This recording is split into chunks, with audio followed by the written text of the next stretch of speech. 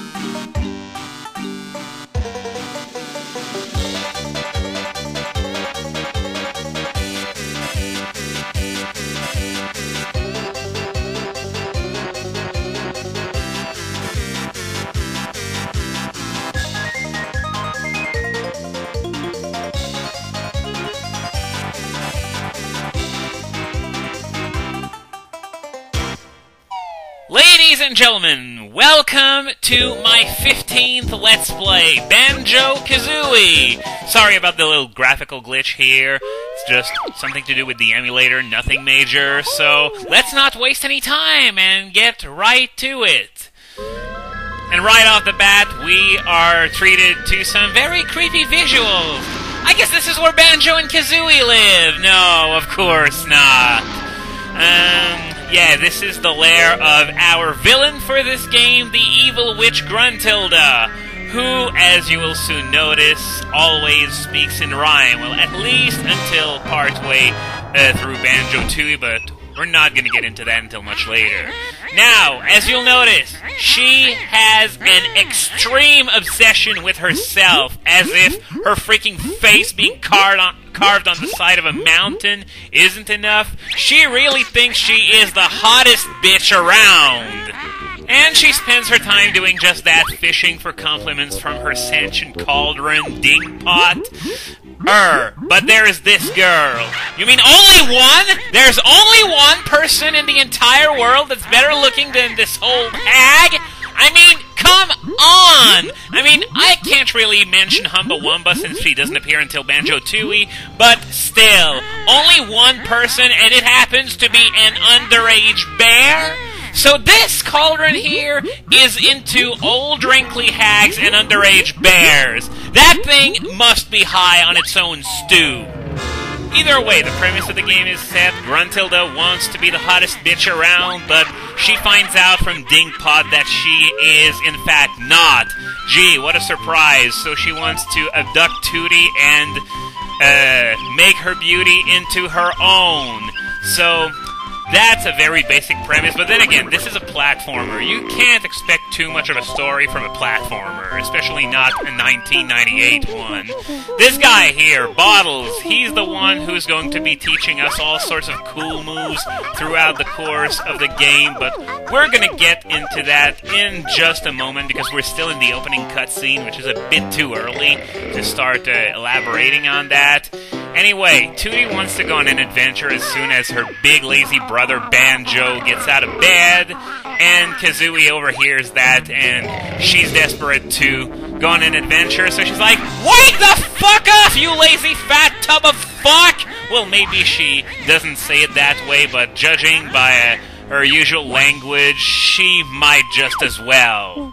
And yes, Kazooie is a she, eh, even though it doesn't look like it. I love how Bottles asked, Is that your brother over there? I mean, I know you're short sighted, but uh, up there in the sky, unless Bear bears suddenly develop flight, I sort of doubt it.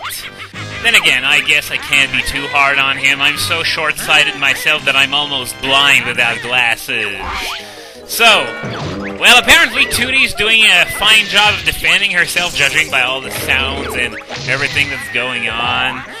but uh, nonetheless, you just know she's gonna get uh, abducted anyway. So uh, otherwise, this wouldn't be a very long game. So yeah, she's got her. So it's up to Kazooie to try and get Banjo out of bed. And oh, apparently she managed to do it. Oh, what do you want, Kazooie? Yeah, doesn't seem to care very much about his sister.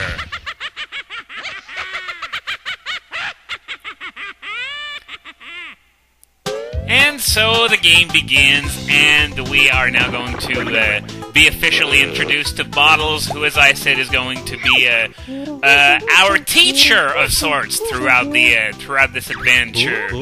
So you definitely want to seek him out because he's uh, going to teach you all sorts of cool moves. And uh, the other reason why you want to seek him out is because of his dialogue. He and Kazooie play off each other very, very well. They just keep tossing insults towards each other and not caring. Then again, that's par for the course for Kazooie. Seems like it. the only person she doesn't totally hate happens to be Banjo.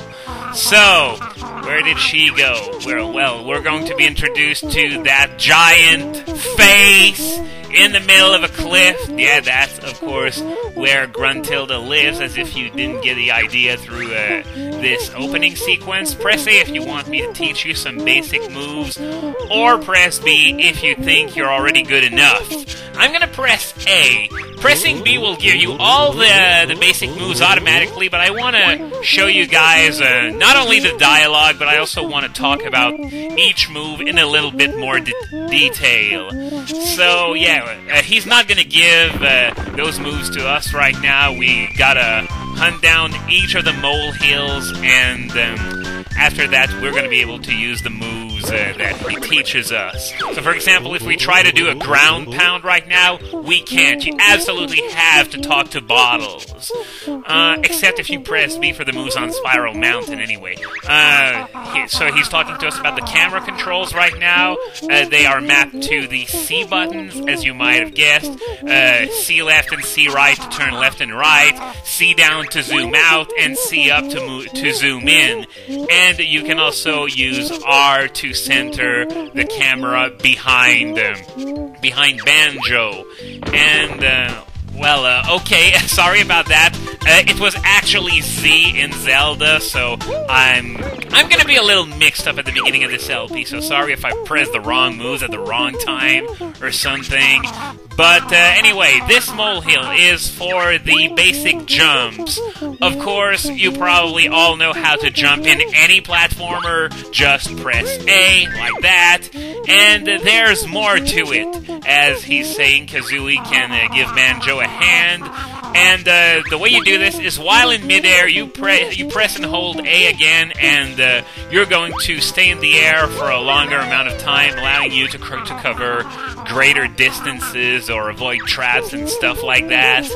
And uh, there is also the uh, flip flap jump which is functionally uh, identical to a backflip, and you do it the exact same way as you do in Mario 64. You crouch using Z, and then you press A to uh, go in the air. No, like this. Okay, sorry about that. I was pressing the wrong buttons again. Yeah, doing real good. I'm I'm sucking so much on the tutorials. This is gonna be fun, and it's not because uh, the game has bad controls. On the contrary, it's just that you know I'm I've been playing Zelda for so long that I st- sort of have the controls for that game etched into my mind. Anyway, I just picked up an extra honeycomb piece. What these do? Once you get six of these, uh, your max health is increased by one. Note that you can't get past eight max health, even though there are enough uh, honeycomb pieces to uh, get you to nine. So the last six you can get uh, do absolutely nothing. Anyway, swimming controls. They are a bit different from um, Mario 64, actually. I'm going to explain them in a little bit more detail because first I want to head over there because there's another extra honeycomb piece this is an opportunity to try out this. Uh, well, Bottles calls it the double jump, but I wouldn't call it a double jump. It's just a longer jump or whatever. And there's an extra life behind the waterfall in case uh, in case you want one, it's right there. We're not going to be needing too many of these at the beginning of at the beginning of the game since it's rather forgiving early on. Um, okay, now can I? No, I don't think I can uh, climb trees just yet. I have to talk to the bottles in that molehill over there. So, swimming controls. Um, if you want to go underwater, you press B, and if you want to jump while on the surface, you press A. This is great because sometimes in other games you're going to press A while swimming and you're just going to do a stroke or something. Whereas here you are going to jump out of the water and you can use the so-called double jump to uh, uh, make you go faster and stuff. This is going to come in very handy later on, especially in water levels. So, um, as I said, this molehill, Bottles is going to teach us how to climb trees, which is once again absolutely identical to Mario 64. You just hang on the tree, um, and then you climb and climb until you're at the top. Uh, you, you don't do a handstand where when you're at the top, though, you just climb like on top of the tree like this. Uh, now there's one of these trees that has uh, an extra honeycomb piece on top of it. Is it this one? Nope, but you.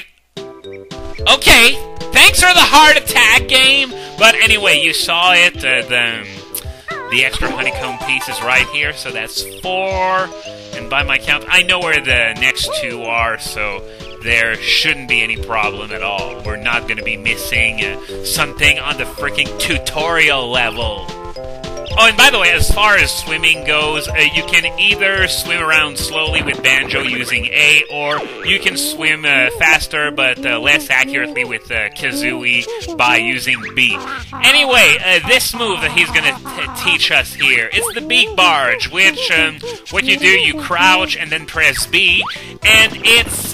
Whoa, wonder what happened there. But anyway, it's pretty much useless. Uh, if memory serves me correctly, this is the only time where you're, where you're actually going to be using it in the freaking tutorial level, and you want to smash all four of the rocks that are here, because look at that, are extra honeycomb pieces. So yeah, Beak Barge, about as useful as an undersea bicycle salesman, so uh, I'm just gonna pass on this one. Now, uh, this place here is where Bottles is going to teach us about the basic attack moves that are at our disposal. So first, uh, he's gonna teach us the claw swipe, or rather, it's just it's just a punch. Claw swipe it just makes it sound fancier and stuff. But um, how about bird brain? I, I I I just love the interaction between these two characters. It's it's it's nothing. It, it's not RPG standard, but for a platformer, it's actually really good. Anyway, he just found a carrot for us to practice the punching with, and as you can see, the range is so shit that you can barely do anything with it. So this is another one of these. Uh, more or less useless moves. It got upgraded somewhat in Banjo Tooie, but um, still didn't find you uh, myself using it all that much. Now, next move is the forward roll, where you just uh, when you're running you press B as opposed to standing still and pressing B, which is when you punch. But uh, okay, he's gonna us an onion here. At least I hope that's an onion. okay, one more. Stop rolling. I feel sick. Fortunately, this is yet another move that we're not going to be using all that much. It's more useful than the punch for sure.